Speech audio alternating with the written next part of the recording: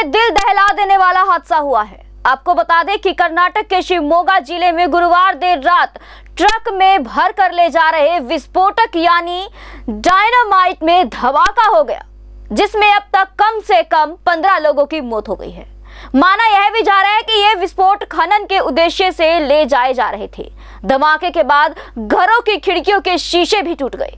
लोगों ने photo social media पर पोस्ट की है। बताया जा रहा है कि पत्थरों को तोड़ने के लिए विस्फोटक ले जाया जा रहा था।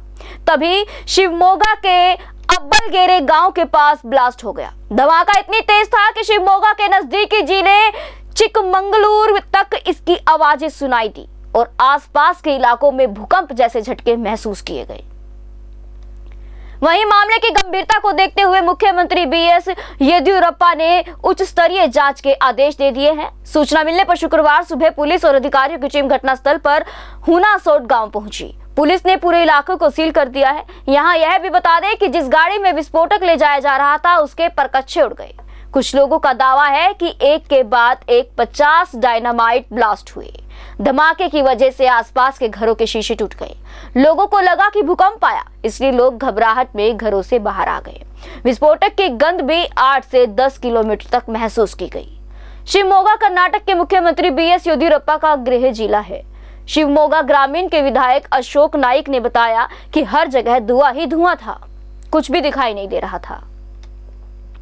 शिवमोगा के deputy commissioner K B Shiva Kumar ने बताया कि पूरे इलाके की घेराबंदी कर दी गई है। उन्होंने घटनास्थल पर और विस्फोटक पड़ा होने की आशंका जताई है। वहीं बताते चले कि पीएम नरेंद्र मोदी ने सोशल मीडिया पर ट्वीट कर दुख व्यक्त किया है। शिवमोगा हादसे पर प्रधानमंत्री नरेंद्र मोदी ने सोशल मीडिया पर लिखा है कि लोगों की जान गंवाने को लेकर दुखी हूँ। उनके परिवार के साथ मेरी संवेदनाएँ हैं।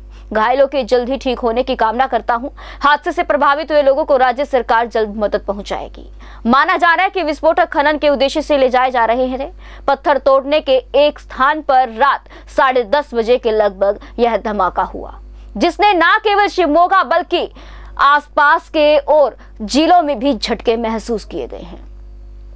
बताया जा रहा है कि इस हादसे में पंद्रह लोगों की मौत हो गई है और आसपास के क्षेत्र में झटके महसूस किए गए।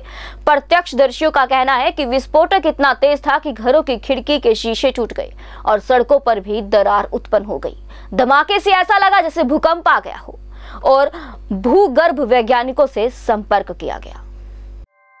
ऐसे ही लेटेस्ट खबरें पाने के लिए बेल आइकन को क्लिक कर हमारे चैनल को लाइक, शेयर एंड सब्सक्राइब करें। धन्यवाद। JBD Banquets lie hai incredible marriage palace Rajgharana and the finest banquet hall Jyoti Garden.